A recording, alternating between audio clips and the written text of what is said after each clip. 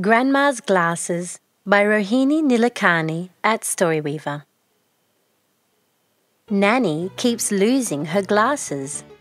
Where did I keep them? she always asks. Without her glasses, she cannot find her glasses. So she needs me to be her eyes to find her own eyes. Sometimes her spectacles are in the bathroom, or on her bed, or on her head. Nani, I say, they are on your head. Of course, how silly of me. Thank you, Risha dear, she says with a giggle.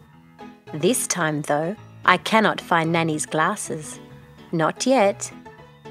I have looked everywhere, in all the usual places on her head, in the bathroom, inside her cupboard, and on the puja shelf.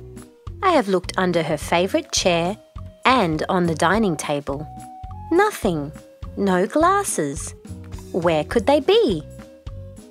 I decided to be a good detective. I decided to find out what she had done all day. I did nothing much today, except that Vina's mother in law came, you know. And how much she gossips! We had many cups of tea, and she ate all the laddus your mother had made, said Nani. Raju said Nani was very busy today. She wrote a letter to the Chief Minister about her pension. Amma said she spoke for a long time to your Massie. She finished knitting the sweater for Raju, and then she went for a short walk. I now had many clues. I quickly looked around new places in the house. Aha! I have found the missing glasses.